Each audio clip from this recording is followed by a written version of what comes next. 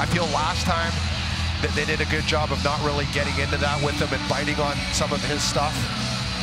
But this is the part of the game that he he thrives in. But now the challenge for the officials as they huddle up at the scorer's table is how to score it. Is it two for each player? Is somebody getting an extra one? Because certainly it was Duchene that retaliated.